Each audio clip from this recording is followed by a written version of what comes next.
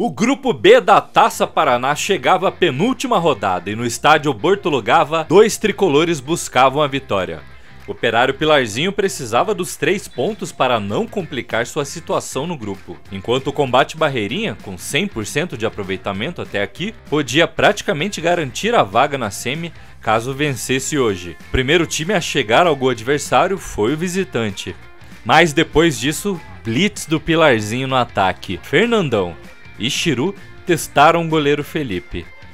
A pressão do time da casa seguia. Aos 10 minutos, Chiru aproveitou a escorregada do rival para avançar até a entrada da área, deixar a zaga do combate para trás e mandar no canto esquerdo de Felipe. 1 a 0.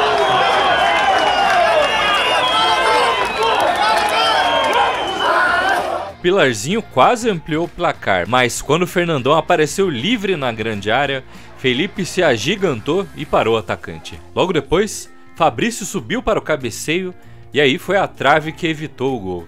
Parada técnica ajudou Marcos Kempinski a conversar e ajustar o combate, que melhorou em campo e também chegou a acertar a trave, na cobrança de falta de Alisson. E nesse contra-ataque, André evitou o empate do rival. Na volta do intervalo, mudança no tricolor do Barreirinha. Pitoca, que já foi campeão da Série A pelo Pilarzinho, ia tentar mudar a história do jogo. Porém, logo aos 8 minutos, Christopher tabelou com Chiru e de fora da área fez o segundo. Belo gol dos donos da casa.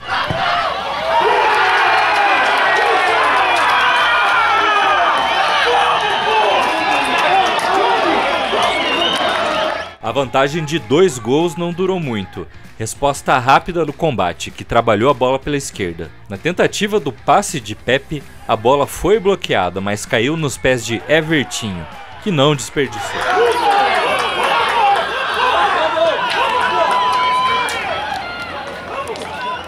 Christopher ainda teve duas boas chances de marcar o seu segundo gol na partida, mas depois disso o jogo esquentou e a torcida presente no estádio viu mais cartões amarelos do que lances de perigo real. E o placar final foi mesmo 2 a 1. A vitória do Pilarzinho embolou a classificação do grupo. Agora as posições das equipes estão definidas pelos critérios de desempate. A rodada final promete pegar fogo. Combate Pilarzinho e Araucariense disputam a primeira colocação e a classificação. Lembrando que o segundo melhor colocado de todos os grupos também vai para a semifinal. Na próxima rodada, Pilarzinho visita o já eliminado Rio Verde. Mas o atacante Fernandão não quer saber de displicência no próximo embate. Não, não pode entrar com oba-oba, é, achando que vai fazer o gol a qualquer momento e de cabeça baixa, algo do tipo. Tem que entrar focado, tem que entrar bem, tem que entrar forte. O time do Rio Verde não é um time ruim, tem peças boas, pessoas experientes lá do, do outro lado também. Então a gente vai para lá para buscar os três pontos e a classificação no nosso grupo aí. Já o combate irá receber o Araucariense em um jogo de vida ou morte. Mesmo com a derrota de hoje, Pitoca segue confiante na classificação. Não vai depender praticamente só da gente, né? A gente sabe que a gente fizer um resultado bom lá e tem grande chance de classificar. Tem chance de fazer dois classificados, acho que no grupo também, né? Com nove pontos e um saldo bom.